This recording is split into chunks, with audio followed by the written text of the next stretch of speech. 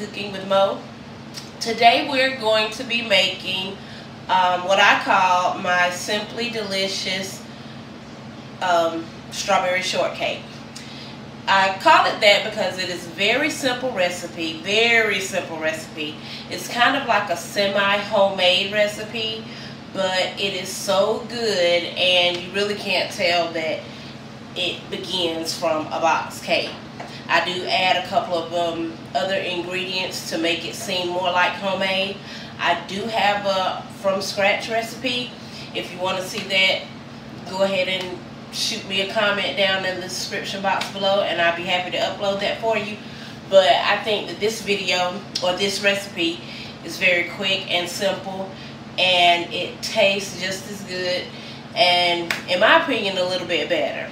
So we're going to go ahead and get started. I am going to tell you what ingredients that we're going to need and then I'm going to go ahead and put it together for you right quick. So first you're going to start off with Duncan Hines Strawberries um, Supreme Cake Mix. And you're going to need a box of vanilla pudding. Jello pudding is what I use. But you don't have to use the Jello brand can use whatever brand, store brand or whatever. You're going to need four room temperature large eggs. I use brown eggs is what I prefer. You are going to need one cup of water, one third cup of vegetable oil. Uh, you'll need some vanilla, um, a teaspoon of vanilla, some baking powder, not baking soda, baking powder. This is one of the ingredients, one of the extra ingredients that you add that's not in the cake mix, you know. Um, a teaspoon of baking powder. I am going to be adding about probably two teaspoons of strawberry extract. You're going to need one half cup of sugar, white granulated sugar, one cup of all-purpose flour or cake flour, whichever you prefer, but I've used, I'm using all-purpose. And an additional half cup of water is what you'll need. And I believe that is it. And let me say this. When measuring your wet and dry ingredients, please always use a liquid measuring cup. Liquid measuring cups look more like this. They have the numbers on the side. Some of them are glass with the red numbers. You know, the numbers may be a different color, but they're always in this form, either plastic or glass. This is a liquid measuring cup. It's used for measuring wet ingredients. When you, you, when you measure dry ingredients, you always use a dry measuring cup which looks like this. One of my main pet peeves is to see someone baking and measuring with the wrong types of tools or whatever. Um, and when you're measuring your, you're using your spoons, you know, teaspoon, tablespoon, things like that, you need measuring spoons, not the types of spoons that you eat with. You know, a teaspoon that you stir your tea with is not the teaspoon that you measure a teaspoon, you know, like a teaspoon of baking soda, a teaspoon of um, um, this stuff right here, um, vanilla or whatever. It's just not, that's not what you do. Baking has to be very precise when you're baking. When you're cooking, you can pretty much do whatever. You know, you don't have to measure out things when you're cooking. But when you're baking, it needs to be precise. Or you'll end up messing up something. And I promise you that. So we're going to just go ahead and add these ingredients. And these don't have to be um, put in separately for this particular recipe. Everything can just go in the pot. Everybody just jump in the pot. And then we'll mix it all together. So that first was the cake mix. This is the jello pudding, the vanilla pudding. I tried to find some strawberry pudding. Think strawberry would be good, but I don't guess they make it because I can't find it. I might try to find some online or something like that, but we're going to put in the four eggs, the water. Go ahead and add this water too. The vegetable oil.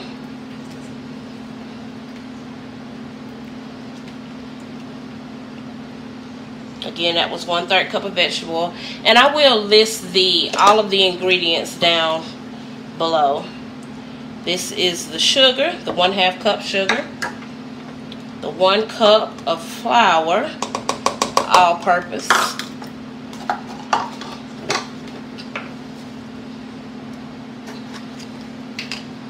Got your teaspoon.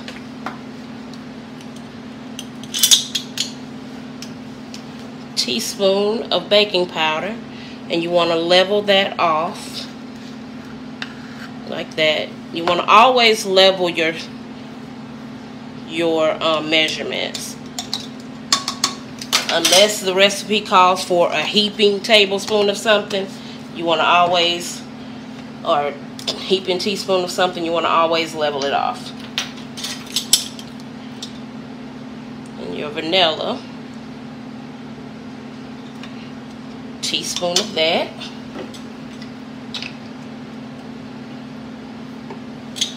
And then we're going to do, since this is a strawberry shortcake, we're going to do two teaspoons of that good strawberry extract.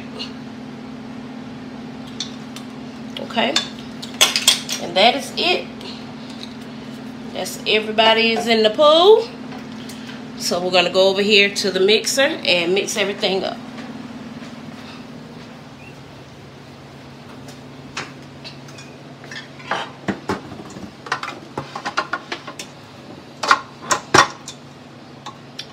Now for this stand mixer, I am supposed to be using a paddle attachment, but I lost my paddle attachment and I haven't been able to order another one yet. So this whipping attachment will do the job. It'll get everything mixed up, but I guess I better plug it up. Guess I better plug that up, but it's not going to work, is it? All right.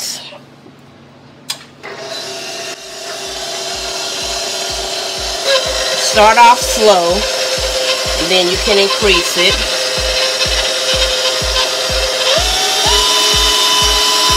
This needs to mix about a minute and a half to two minutes. You kind of want it to get um, as smooth as possible. I'm going to mix it for about a minute and then I'm going to scrape down the sides and then continue mixing for about another minute.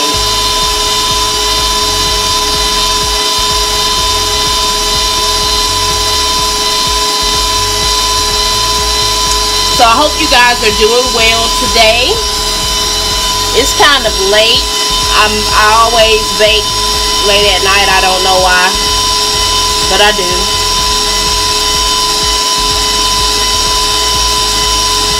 Okay, it's been about a minute. Let's turn this off and drop this and scrape down the sides a little bit.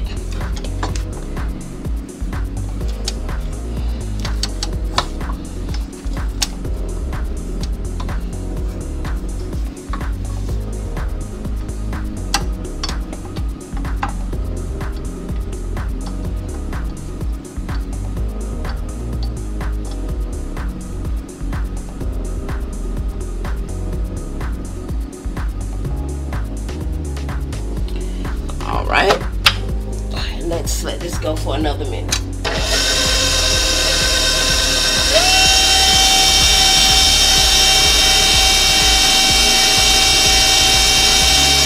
I know most people, um, when they make strawberry shortcake, they use a yellow cake base and then do the whipped cream and the strawberries on top of that. But I like to make a strawberry strawberry shortcake. It just tastes better to me. That's, you know, my opinion. But people seem to like it.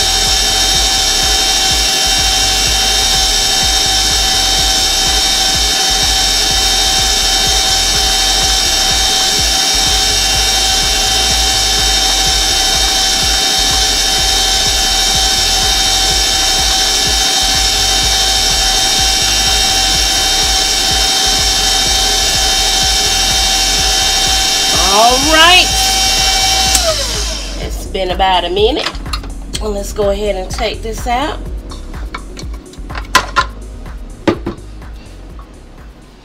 And I like to get everything off of my beater. I just, I don't know. I've gotten in trouble by some of my friends they say they glad I ain't got no grandkids because I don't leave nothing on the beater or in the bowl or on the spoon or nothing for the kids to lick. But I just, I can't do it. I don't know. Okay, let's go over here.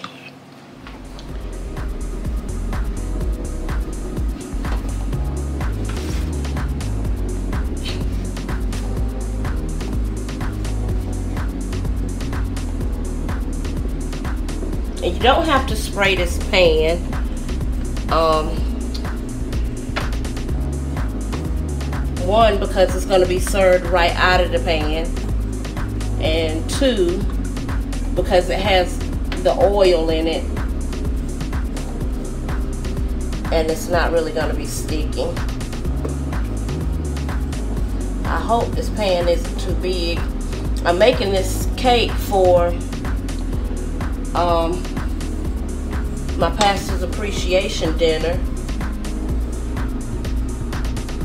And I'm praying that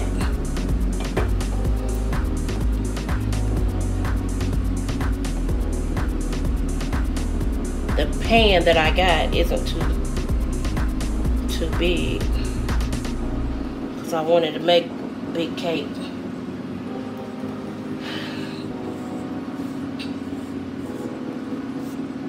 Here go my OCD behind. Well, I'm not really OCD, but I am OCD about leaving cake batter in the in the pan. in the bowl, I mean. Okay. So I'm gonna go ahead and spread that out a little bit. And you always want to tap your cake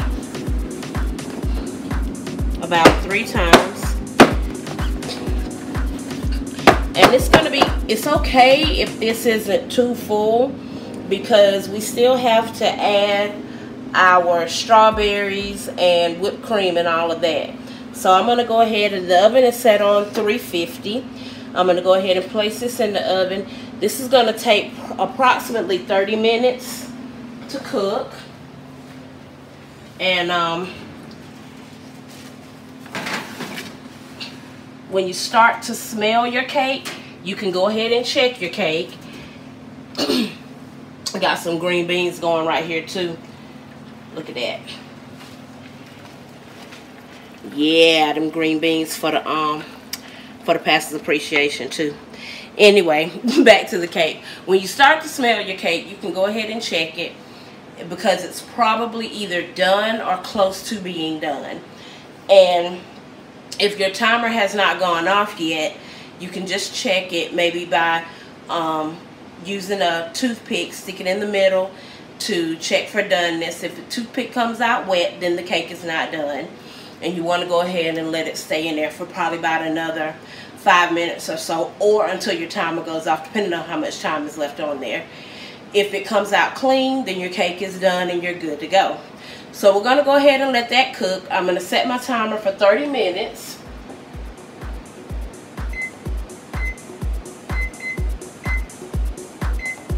And we're to let that cook. When it comes out, we're going to, I'll show you what it looks like. And we'll go ahead and dress it and uh, you want to let it cool. and get the strawberries and whipped cream on top and everything like that. So just give me a couple of minutes and we will be right back. All right, love y'all. All right, so the cake is finished and what I did when we, um, when I took the cake out of the oven, I took a skewer and just stuck it down in the middle of the cake to make sure it came out clean and it did and so the cake is finished. And you can see it's nice and moist and soft. Okay so what we're going to do now is I cut my cake up into serving size pieces and then I put on the strawberries um, the sliced strawberries in their own juices and they are sweet. And then I'll put the whipped cream and then and then decorate the top with some fresh strawberries. So we're gonna go ahead and cut the cake up. And I do this just so that all of those juices and everything can get down into all throughout the cake.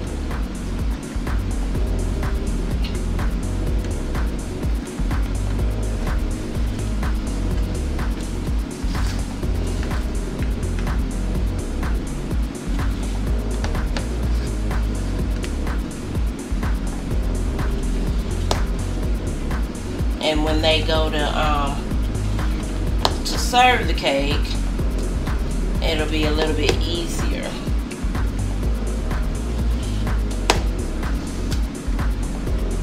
To serve since they don't actually they don't normally cut cake like this. They just go in with a spoon.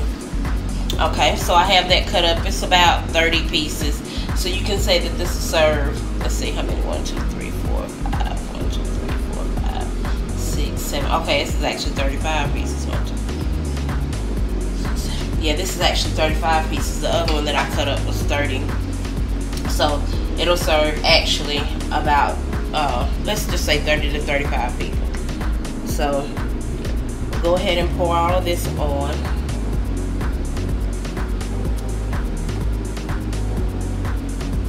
And this is um, a bowl like this, which is 16 ounces.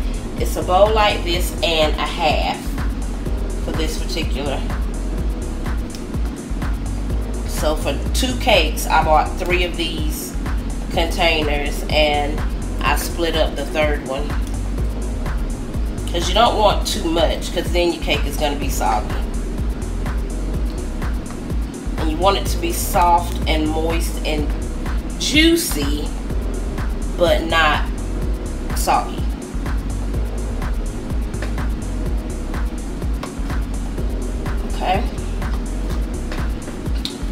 So, now what I'm going to do is I'm going to put some foil over this and put it in the refrigerator and let it chill for approximately an hour and a half, maybe two hours. But I'm gonna let that chill, let this chill so that the um, the flavors can get down into the cake. And then I'll come back with the topping, which is the, um, the whipped cream and the fresh strawberries. So I'll see you guys in a little bit. Okay, so here we are now to finish up the, um, the strawberry uh, shortcake. And let me briefly tell y'all how crazy I am. So right now I'm at my church in our kitchen um, like I said, today is our, I'm making this cake for our pastor's appreciation. Well, I left my Cool Whip sitting on the table last night, forgot to put it in the refrigerator, and when I got up this morning to try to finish up the cake, the Cool Whip was melted. Yes, it was melted. So I had to go this morning after I got to church and get some more Cool Whip, but of course that was frozen. So I had to wait for this to thaw out. Everybody's out of church. They're probably getting ready to eat. And luckily, I brought dessert. So, um, yeah, they'll at least get their dessert. So, anyway, to go ahead and finish up your um, strawberry shortcake. As you can see, I you can see that you um, how I cut the um, the cake up and earlier in the video and I've poured the strawberries on top with the juice sliced strawberries and juice. So we're praying that this is going to be thawed enough to spread and I don't know. So this isn't exactly gonna be perfect, but it is gonna be good. And we're gonna do the best we can.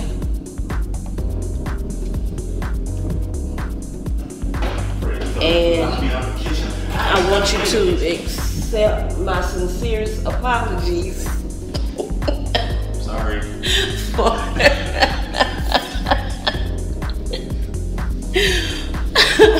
Accept my sincerest apologies for this being the uh, pretty much jacked up video. But it's going up anyway because life happens. And that was my brother-in-law. Well, not my brother-in-law, but my brother in Christ. Peter that just came climbing through the window.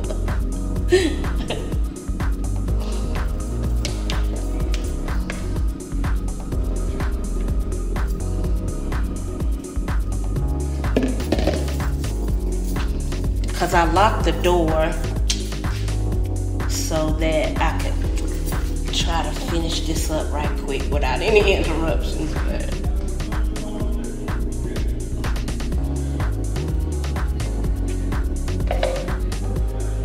I just need to hurry up.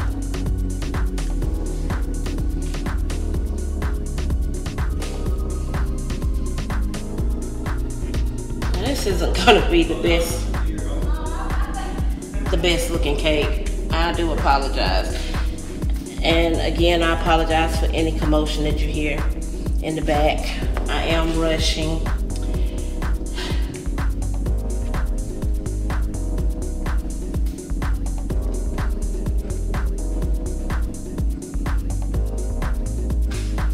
And unfortunately, I'm not the best editor yet. So you gonna see all of this, um, all of these bops and bubbles and boo-boos.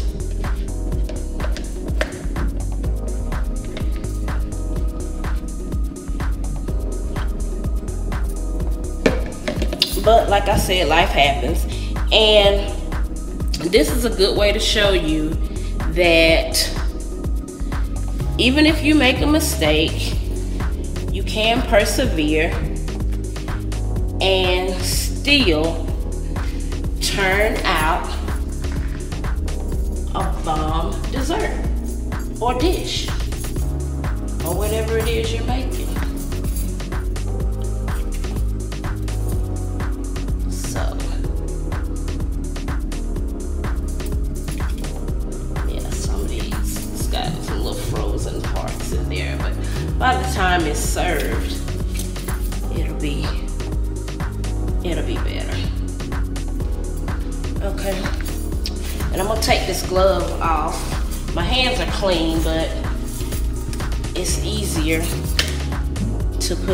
Strawberries on without that glove. So these are fresh, fresh cut strawberries. Just pull the um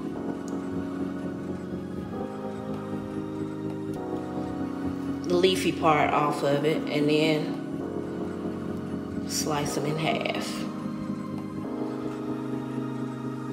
After you wash them And since strawberry season is really past, these are pretty small.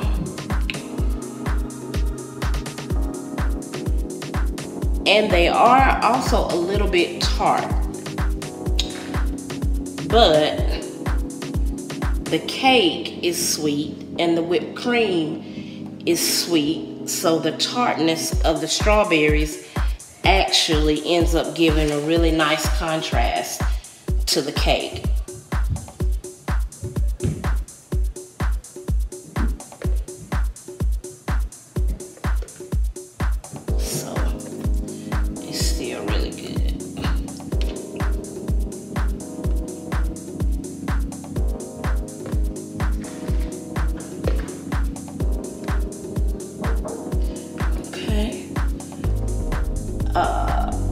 On one second.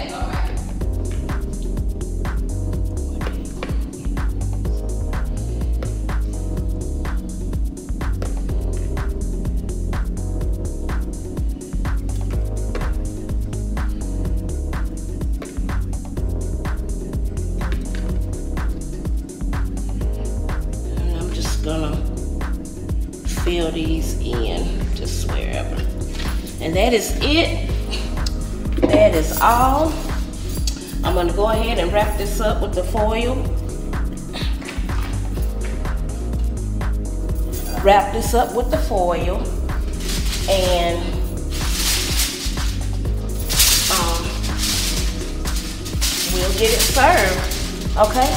So again, y'all, thank y'all so much for watching and I do thank y'all so much for watching.